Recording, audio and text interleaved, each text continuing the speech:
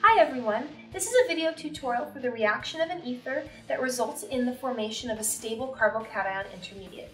So what we have here is our ether group. The R prime is designated here just to make sure you understand that these R groups do not necessarily have to be exactly the same. So much like an alcohol group, this ether can react with HX, where HX represents either HBr or HI. It does not have a reaction with HCl, it goes way too slowly.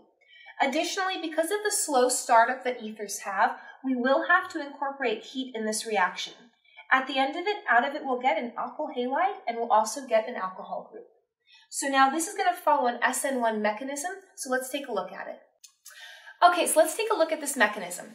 So over here we have our ether. Remember, you can identify it's an ether because we have two R groups separated by an oxygen. So now the first step is that the oxygen with its lone pairs will come and attack this hydrogen, breaking the bond with the I. So what we form then is this protonated ether.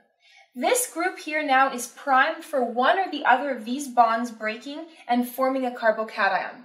Remember, we will form a carbocation because we have a stable intermediate. So I'm going to preferentially choose to have this bond break because if this is the bond that breaks, I form a benzylic cation, which is very stable.